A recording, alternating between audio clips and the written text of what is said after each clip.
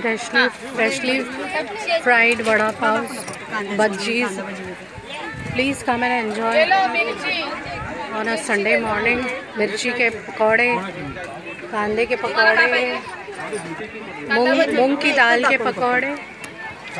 अक्सा भी चाहिए।